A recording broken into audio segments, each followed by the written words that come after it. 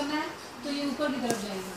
अगर कोई नॉर्मल है जिनका बिल्कुल कुछ नहीं करना जिनको सिर्फ़ मसाज ही है पर्पस तो वो नीचे की तरफ़ जाएगा। ऑल बॉडी तो ऑल बॉडी हाँ। ऐसे ऐसे। ऐसे ऐसे। स्किन के लिए क्या मैडम किसके लिए?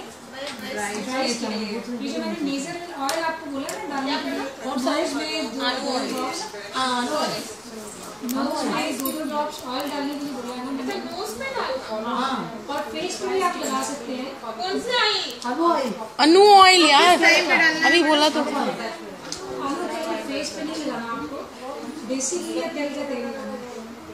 ठीक है देसी घी बोला था ऑयल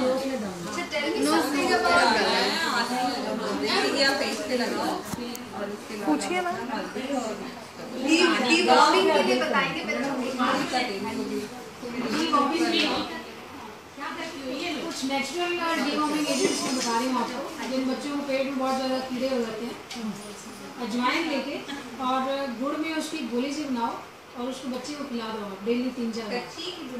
कच्ची अजवाइन वो अच्छा है ना अर्ली इन द मॉर्निंग किसी भी टाइम दे सकते हो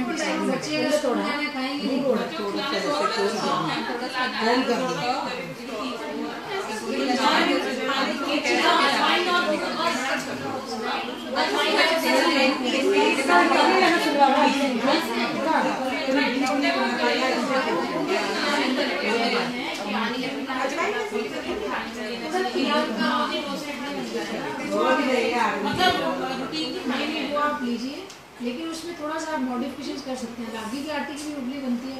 ऐसी मूंग उड़द की जगह मूंग की भी इडली बन जाएगी नहीं तो वैसे वो यूज़ कर सकते हैं आप साथ में। उड़द का नुकसान है। उसका डाल भी बड़ा बड़ा जाता भी नहीं।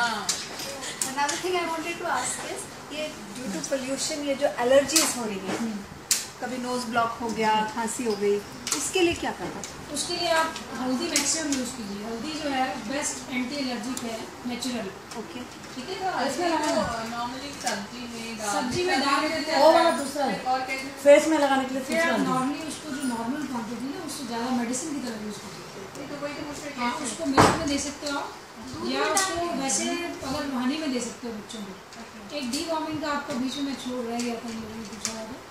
जिसको भी पेट में बच्चे को कीड़े होते हैं ज़्यादा मीठा बहुत ज़्यादा मत दीजिए उनको क्योंकि मीठे से ही ज़्यादातर कीड़े होते हैं। अच्छा ये कैसे पता चला है कि कीड़े वो बच्चों को इचिंग होती है ज़्यादातर नीचे। या फिर उनका भूख बहुत ज़्यादा खाते बहुत ज़्यादा। है भूख लगी है उसको ज़्यादा कितने साल तक बच्चे को वो वार्म लगता है मैडम?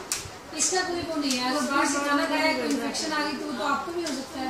हमारा भी कीड़ा के लिए दवाई खाना ज़रूरी है हम हैं बच्चे को ज़्यादा कोई एज लिमिट नहीं है। हल्दी फेस में लगाने उसके लिए एक है।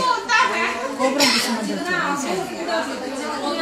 ऐसे ना हल्दी। फेस में है यस मैम डिफरेंट हल्दी होती है। मेरे यहाँ हल्दी उगाते हैं ना तो वो अलग अलग हल्दी होती है। खाने की अलग और पहनने की अलग। आई हैव जो लंबे वाले वो हाँ हाँ खाने के ये जो नोज़ में ब्लड आता है बच्चों को एक तो सिर पर पानी समझने की कोशिश कीजिए डेली डालो आप नहाने के टाइम दूसरा जितनी भी नेचुरल कूलिंग ड्रिंक्स हैं जैसे कि गोंद कतीरा ये दीजिए बच्चों को जिनको भी ब्लड आता है नोज़ में से। एक और ठंडाई नेचुरल खुद घर पे बना के दीजिए बादाम खसखस और दूध मिक्स करके मिक्सी में अच्छे से। और तीसरी चीज़ है नींबू और पुदीने की ड्रिंक मिक्सी में बना के बच्चों को दीजिए। कोल्ड ड्रिंक्स बंद कीजिए बिल्कुल। और ये नेचुरल ड्रिंक्स जो मैंने आपको बोली हैं, ये बनाइए। आम पन्ना दे सकते हो, जिनको नोज़ में से ये ब्लड आता है ऐसे। शक्कर पानी में घोल के, ये एक नेचुरल ड्रिंक है बहुत ज़्यादा कूलिंग है। ये आप दे सकते हो। एक सब्ज़ा आता है महाराष्ट्र में। कुछ लोगों को पता होगा। वो बहुत अच्छा है। उसको पानी में घोल के उसकी ड्रिंक बना के आप दे सकते हो। मतलब ये नेचुरल जितनी भी चीज़ें मैंने आपको बोल रही हैं गूंद कतीरा भी ऐसे ही दूध में डाल के और थोड़ा सा रूह अफ़ज़ा डाल के उसको मिक्सी में शेक करके वो बच्चों को शेक दीजिए बॉर्नविटा वगैरह ये जितने भी ये ऐसी चीज़ें इनकी बजाय आप ये चीज़ें दीजिए बेल का शरबत तो ये चीज़ें आप इंक्लूड करो डाइट में अभी आता है इनसे अच्छा है। सिंपल दूध नहीं पीना चाहिए। कुछ नहीं है। दूध डाल के बनाने के बारे में एक और चीज़ बताना चाहूँगी सबको। कि पीरियड्स में कभी भी आप सोडे वाली चीज़ें मत खाइए।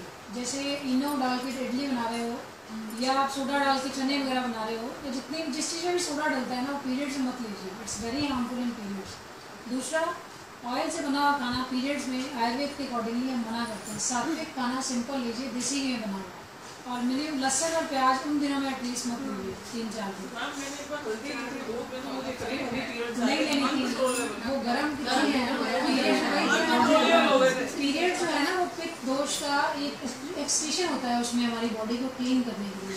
अगर आप उसमें गर्म चीज़ें लेंगे, या ये जो मैं बता रही हूँ आपको, या स्टेल फ़ूड या जंक फ़ूड लेंगे दे आर वेरी हार्मफुल ये तभी पीरियड्स की प्रॉब्लम लेडीज़ को होती है ज़्यादा। जो नॉर्मल अगर अगर आप खाना लेते रहेंगे ना तो आपको कुछ नहीं होगा।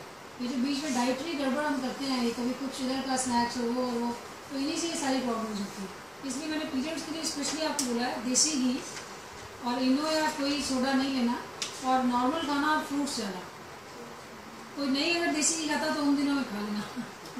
अच्छा ma'am tell us something more about little about menopause also menopause में लेडीज़ को ज़्यादातर हॉट फ्लशेज या ये सब प्रॉब्लम्स होती हैं।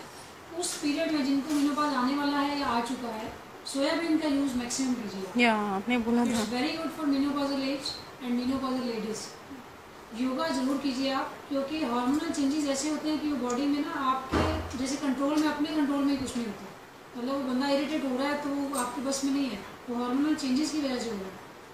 मेडिटेशन ज़रूर कीजिए, क्योंकि ब्रेन को काम करने के लिए ये चीज़ें बता रही हूँ आपको। सिर पे तेल ज़रूर लगाइए उन दिनों में। वो आपको सूदिंग इफ़ेक्ट देगा। कुछ लोग सोचते हैं क्यों ऐसे चिड़चिड़ी हो रही है, लड़ती जा रही है, लेकिन उनको पता नहीं है कि आपको अंदर से प्रॉब्लम हो रही है। तब आप ऐसा बिहेव कर रहे हो। और अपनी डाइट को एटलीस्ट बहुत ज़्यादा हेल्दी बना लीजिए मीनोपाज के बाद। क्योंकि एक जो प्रोसीजर था आपका जिसमें आपकी बॉडी की मंथली क्लीनिंग होती थी वो ख़त्म हो चुका है। तो अब आप अपने अंदर और गंद नहीं जाना चाहिए आपके जिससे आप जो खा रहे हो वो बहुत अच्छा और आपको लगे हो पूरा। तो इसलिए वो जो डाइट्स में आपको मैंने बोली है जैसे फ्रूट्स मैक्सिमम लीजिए स्टील फ़ूड मत लीजिए वो उसके बाद स्पेशली आप लोग ध्यान दीजिए उस चीज़ को। एच बी या तो कोई प्रॉब्लम है तब कुछ नहीं है कितना एच बी आपका? Eight nine. डाइट सारी बी बढ़ाने वाली लेते हो आप? अब मैम अब मैं मैथ्स में गई तो वो जैसे अनार बोला। तो डॉक्टर मेरे को डांटने नहीं लगी थी go and see on the net anar doesn't have any iron content just 1% और 2% हम लोगों को तो यूजुअली नहीं पता ना बीट रूट अनार ये। और उन्होंने जो बोला वो दैट वाज टोटली रिवर्स तो उन्होंने जो बोला आपने वो लिया उससे आपका बी बढ़ा? वो तो she told me you get admitted in the and was and get those injections fitted in you and that is that is ultimate ये अगर एच बी आपका नहीं बढ़ता है तो आप आयुर्वेदिक मेडिसिन ले सकते हैं उसके लिए अगर डाइटरी फैक्टर से